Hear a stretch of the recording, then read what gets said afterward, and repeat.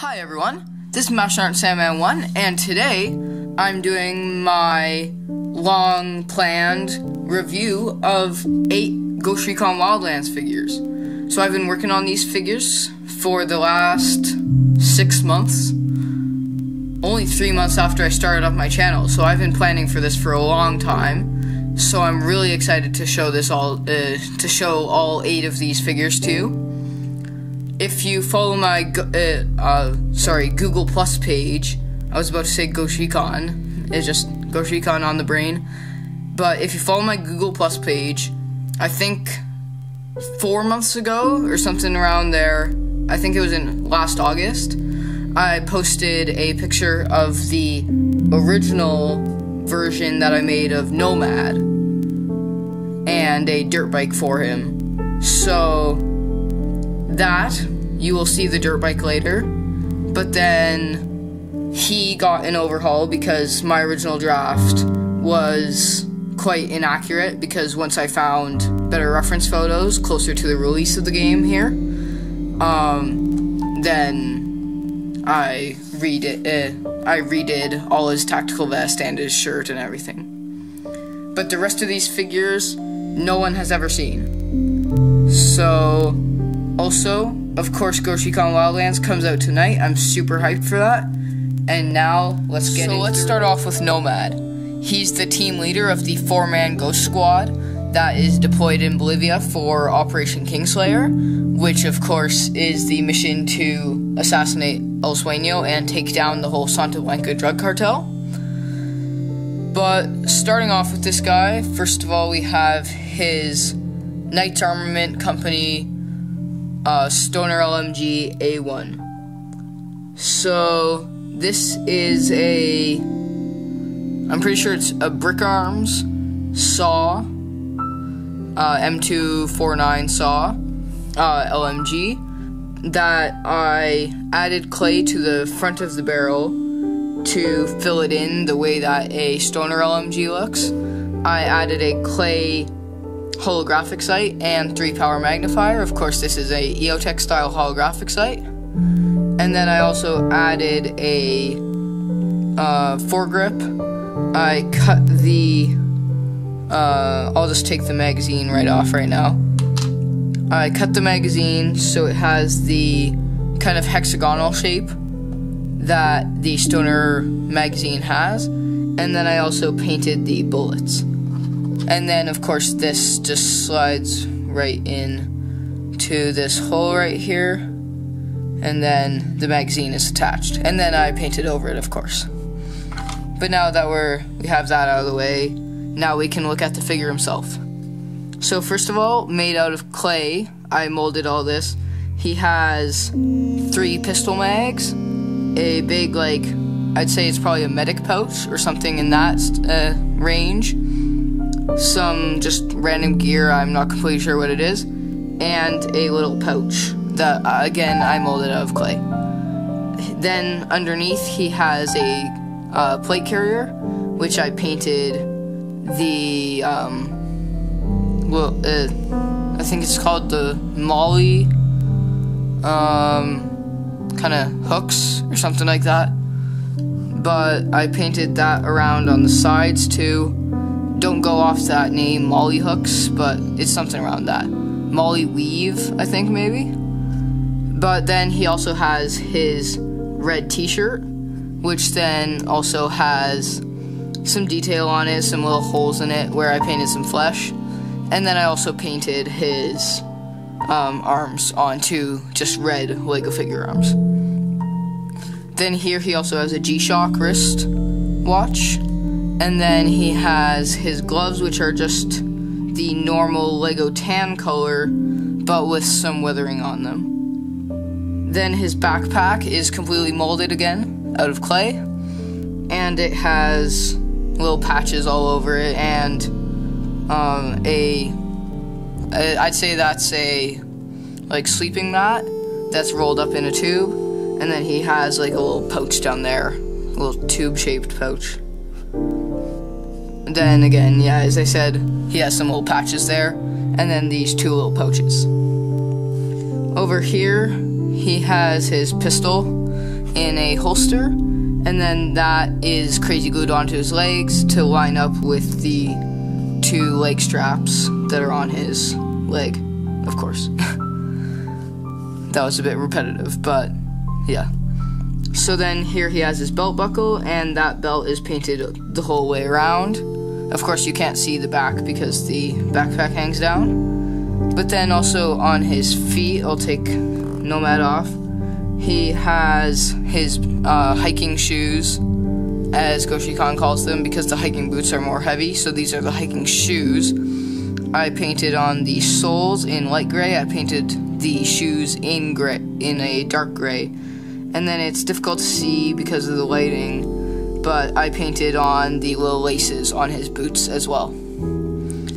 Then now that I have the figure in my hand, uh, now let's look at the um, hat. So he has some little weathering on the end of the hat because in the game, it's kind of his hat's kind of torn up and stuff. It's raggedy. But then he also has the little um, Spartan helmet on the front. Then he also has.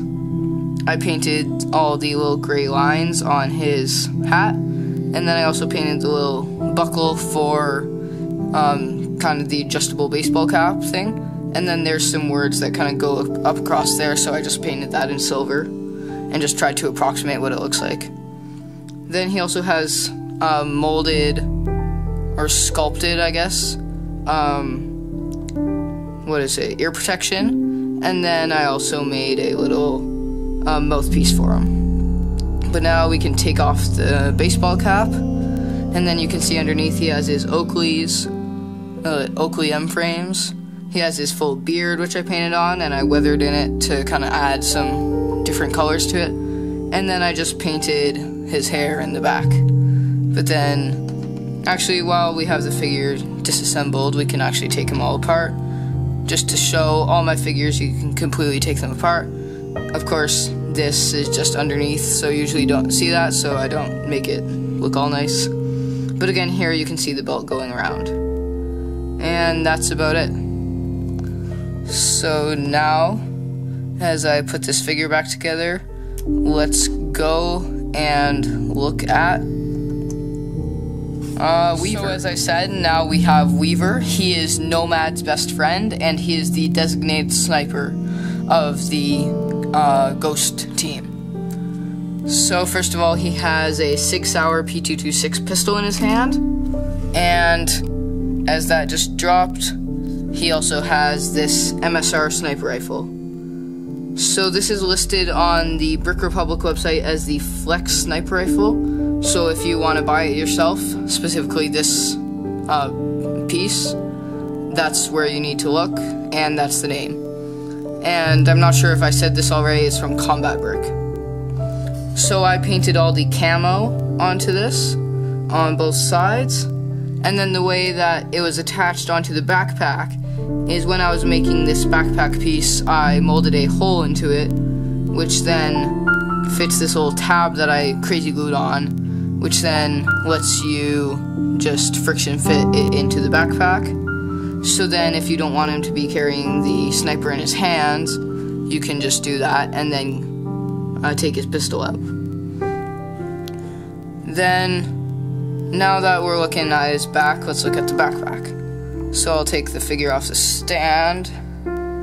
And so here is Weaver's backpack. If I can get this to focus. So it has some detail in it. I painted the gray straps. And then right here there's a little ghost uh, skull patch. And then he has some weathering all over the backpack. Um, on his legs, he has this camo painted all over his pants. He has the knee pads molded on. And then he has his boots with the uh, cuffs rolled up on his pants. Then he also has some leg straps with a little pistol uh, mag pouch over there and the pistol holster, which I didn't use one of the tiny tactical ones that has a pistol in it because I made this figure that then he'll be able to hold the pistol in his hands and it'll look accurate. So for his sweater, I painted all the details, like the zipper going down, the little like elastic at the bottom of it, which goes all the way around, and then the elastic at the ends of the arms of his rolled up arms on the sweater, and then the um, little bands that he has going around his arms. He also has some weathering on the arms and main body. Now here he has his chest rig, which I made the patches for, and I just painted the chest rig directly onto his body. He also has a little comms unit that then goes down here and ends right there at his backpack. Then his face is fully painted by me, even the eyes and mouth, which isn't usual. I have a few more figures in this uh, showcase that have a fully painted head but he has his goatee, his uh, haircut that's um, left uh, long on the top and then completely shaved on the sides. So I tried to approximate the kind of buzz cut well.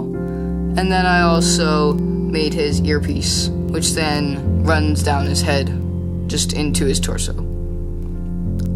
But that is pretty much it for Weaver. And now let's look at. So here we have Midas. He is the newest member of the Ghost team that is executing Operation Kingslayer. So, first of all, we'll do the 360. Just looking around. While we're here, we'll look at the head. I made his ponytail and his backpack with some weathering on it, and I made all the little um, little details in it. I also put a smoke grenade on his backpack. But while we're looking at the head, I'll just take that off. So, this was a really specific way that I made this. So, as you can see, the whole bandana doesn't come off in one piece. I took a Lego bandana and I cut off the main front part.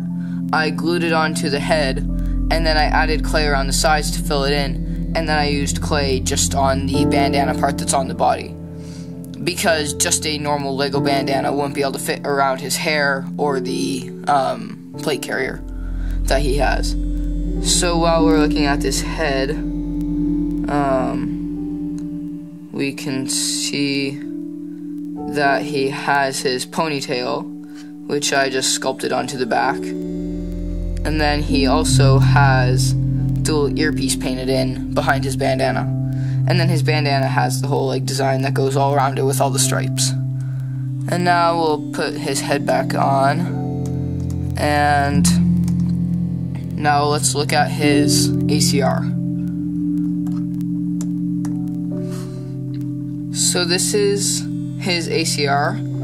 It's actually a um, I'm pretty sure it's Sidan um, Scar H, but I cut the magazine to then make it into a like um, banana style magazine, not just a stick mag like the Scar L or Scar H has. I also cut down the stock a bit. There was a piece that made it like really extended in the middle, so then I cut that down and then I just put the stock back on without the extra extended piece in it. Then I also made the holographic sight on it, the EOTech style holographic. And then I also made the laser and the grenade launcher that's on the bottom. And then, of course, I painted the magazine. And then on the other side, it's pretty much mirrored except there isn't the laser sight. But now that we're just looking at the figure, as you can see, this arm doesn't have any tattoos, but on this arm he has the tattoos that are game accurate. Then on the front of his plate carrier, he had I painted in all the um, again MOLLE straps or something like that, and then he also has the smoke grenade that's right there, and he has his pouches that are on the front. Then on the backs of his legs, he has his boots painted on and the straps for his knee pads which I molded on the front. Then if we take him off again, we can take a closer look at those um, knee pads. So yeah, there you can see those. I also painted the little um, a little pocket on his pants, and I painted his belt, which goes all the way around his legs. Then also, as you saw in the back, there's an extra strap, which is for this shotgun that's in a holster. I'm pretty sure this is a SPAS 12 shotgun that's in a leg holster for him, so I molded that out of clay and then painted it up and crazy glued it onto his legs. Then on his boots, you can also see I painted on the laces. And that is about it for no or so this is Holt. The first thing that I want to show you with this guy, again, this guy is one of the ghosts, but he has a HK 416, which I find I did a really nice paint job on. So I did a darker tan on the parts that would come in a tan color, like the um, uh, flash hider, the laser sight, and the buttstock piece. But then the rest of the gun I just dry brushed tan on, and I feel like it made a really cool look. Then also you can see that on the other side. And I really like how this gun turned out. So now let's just look at Holt himself. So again, we'll do the 360. As you can see on the back, he has the backpack which I molded. It has the three pouches, or and then it also has these little straps, and I weathered the backpack a bit. Then on his leg, he has a holster with a pistol in it, and the strap of that goes all the way around the leg, also on the front. He only has one knee pad, which is game accurate, and then he has this little pocket which I painted on, and he has his hiking boots, which I painted the laces onto right on the tops, and I painted the soles. Then on his arms, he has tattoos on both arms. He has his fingerless gloves and his G-Shock wristwatch. He also has his chest rig, which has a little wire cutter right there, being that he's the engineer of the group. Then he also has all these little pouches, which I molded around, and the plate carrier goes all the way around. And if I were to uh, cut the backpack off, being that it's crazy glued on right now, you would also be able to see the uh, the chest rig on his back too. Then here we also have his shemagh, which is just molded out of clay and then painted a bit. And then he also has this little green wire that comes out of his backpack into the here, into his comms device. And then for his hair, he also has a similar haircut to Weaver, buzzed on the sides and then longer on the top, with this one little cutout. He also has a stubble beard, which I painted on. And then I repainted his eyebrows in a darker color. Then he also has these, or this headset, which I molded. Uh, and that is about it for So now we are done all of the um, ghosts, and now we'll finish off the uh, U.S. Allied figures with Karen Bowman. She is the Ghost's CIA informant in Bolivia. And first of all, we'll look at her G36. Uh, if I can get it out of her hand. There. So all I did with this one was I added a slight bit of weathering in dark green on it. And then that's on the other side too. But that's pretty much just about it. So now looking at Karen Bowman, I molded her hair. Um, I did the best I could, but it was pretty difficult. I had trouble with it, but I'm good with the way it looks now. I also painted her face, and I painted this tattoo on her arm. This uh, torso, this isn't a Lego brand torso. This is a Arealight curved torso, which then, as you can see, has the curve on the side, whereas other figures are just completely straight right there. So then this is made specifically for female figures. So I painted her tank top on, and then that goes around to the back too. And then she also has her belt with a silver belt buckle, and the belt is painted all the way around. She has a pistol in a leg holster, which again has the straps, and she has these knee pads, which also have these straps going around. And then, last of all, she just has these gray boots with um, black laces. And that's about it for Karen Bowman. Now let's look at the Santa Blanca. So here is El Sueño, the leader of the Santa Blanca drug cartel.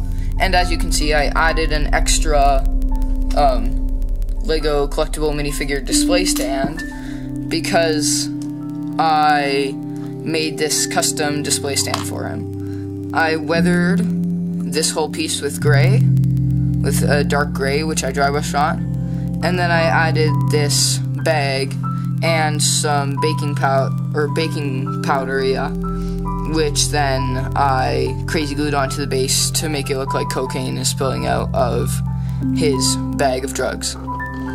Being that the Santa Blanca drug cartel mainly or only supplies cocaine. So I figured this was fitting for his figure. But now we'll just look at El Sueño himself. He's a pretty simple figure or I mean simple as he doesn't have much going on on him, but he was quite uh, difficult to make as I had to do all the tattoos not only on his face but also on his torso, which is the cross that goes down from his face onto his chest. But then on his head, he has this skull, this Santa Blanca skull on the back. He has these tattoos that just go all around the side. And then just to make it look complete, I just kind of scribbled around the top.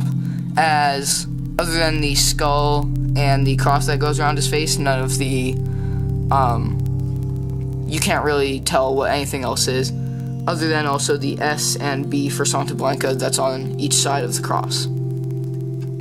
Then he also has his suit jacket, uh, pinstripe suit jacket, which has the little Santa Blanca pin on it, and then this continues all around his body and a just the slightest bit onto his legs and on his arms, of course. And his legs are pretty plain, they're just plain black, but then they have the gray shoes painted onto them. And as you can see right there, the laces are painted on as well. And now let's look at El Muro, the head of cartel. So here is El Muro. He is considered the cartel equivalent of a ghost. So he is very highly trained. Uh, but first of all, let's look at his gun, which is a Vector submachine gun. It has a suppressor on it and a holographic sight, and all I did to this was I weathered it with a light gray, which I dry brushed all around. But now let's look at the figure himself. So first of all, he has this plate carrier, which has a knife, a pistol holster on it, which I painted the pistol that's sticking out of it black, and that goes all the way around, which I painted in gray. I also painted the sides of the vest. He also has this t-shirt underneath in black, which I painted the sleeves for, and then I also painted some muscle detail on his arms. He has his gloves, which have which are the Kevlar gloves from Goshikon, and they have little black pieces of Kevlar all over on the fingers. And you can see I also approximated that on the thumbs. He also has his silver belt buckle, which then is on this battle belt, which goes all the way around. And I'll take off the torso so you can get a better look at that. But, so yeah, now that that's in better light and it's not being shadowed by the um, plate carrier, you can see that in gray going all the way around. While we have this taken off, you can also see I weathered the pants with some dry brush and gray, and then I also added the knee pads and his boots, which you can see here, going all the way around, and then they have the laces painted onto them too, right there. Here, then at the last part of him is you can see his head is fully painted by me. I took a normal Lego head in this like very dark flesh color, dark nougat, I'd say. And then I actually used an eraser and I just erased all the printing off. And then I just painted his hair on because he has such a tight shave. So I just painted it, uh, painted his hair cut directly onto his head. And then I painted his goatee with the stubble that comes off of it, and his narrow cheekbones, and his eyes and eyebrows.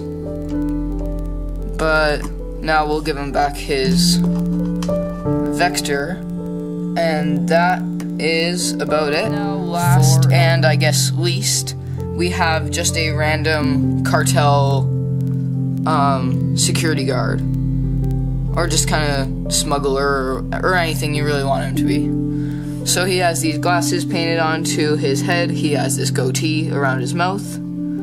Those glasses just go around to where his ears would be. And then his shirt, I just painted some detail onto it, painted some lines of where the shirt would kind of be going around his muscles and just where it would be kind of crinkling up and stuff. His sleeves are rolled up, so I painted some tattoos on his arms. Those are on both sides. And then he also has this little pocket on his legs, or on his leg, he has this belt which just kind of goes all the way around. And then his shoes are just in plain black. Then around his neck, he also has some more tattoos in black. And he has this plain old AK 47, which I painted the brown onto the grip for the wooden detail, and then I just did all the kind of weathering in uh, light gray.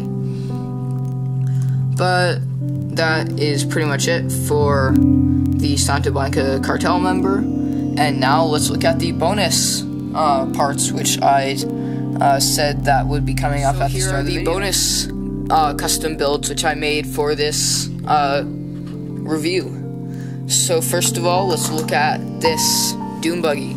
So this is one of the Unidad dune buggies from the game. Now that the game is coming out tomorrow and I played the open beta, I realized that this is quite wide, but I like the look of it, so I kept it this way. I completely built this just from my own parts that I have, and I didn't find any um, specific like inspiration on, on how to do any specific parts of this. So there's a slight there's a slight uh, kind of angle that the front hood is on. Then it also has these lights behind the roll cage on the front. Then the wheels are attached on with a full axle system, which I made. So then even from the bottom, it looks pretty realistic.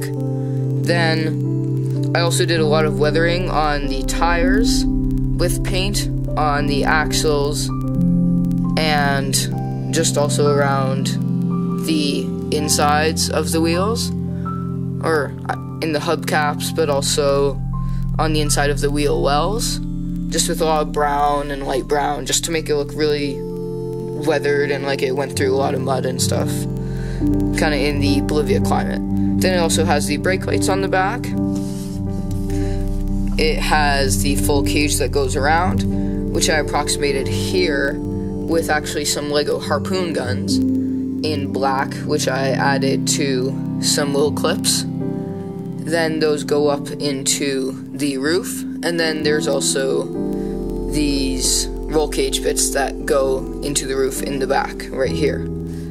But then also, as you can see on the roof, there is a minigun, which is accurate to the game. Then also the doors on each side can open, and now I'll show you how you can get inside. So see, there's this one bar which goes down the middle right here, and then on the roof piece, there's this one little clip which is directly in the middle. So then you can detach the roof, and then when you want to put it back on, you just line up that clip right with this post, and if you get it right, then you can just reattach it. Sometimes you have to readjust the um, uh, roll cage bits, but usually it's pretty good. But now we'll take that back off and you can see the inside. So there's a steering wheel, there's two seats, and there is room in the back for figures. So I'll show you now Nomad driving. Then also, I made it that, oh, they're see the wheels they're on a hinge, so sometimes they do that if you push too hard on the body. But I also made it that the seats are one stud further back from the steering wheel, so then it can approximate their backpacks. But then we can see, we'll just put Holt in with him. Again, his seat can also approximate his backpack. Um, just try to get him in there. And then we can put the roof back on, and there is clearance for their heads. And I find that looks pretty good. We can also add Midas in the back if we want. And he can be using the minigun. Just like that. It doesn't completely line up, but it looks good enough. And for most of the time when figures aren't going to be in this vehicle, it looks pretty good. But let's move that out of the way. And then we also have these two Lego dirt bikes, which I customized. So these are just the normal Lego dirt bikes, except I painted a lot onto the wheels to make them look like they've been going through mud and dirt and stuff. And then also I um, painted some dirt and just kind of just things that would get on this vehicle through driving around. I also painted some gray on some of the axles and stuff.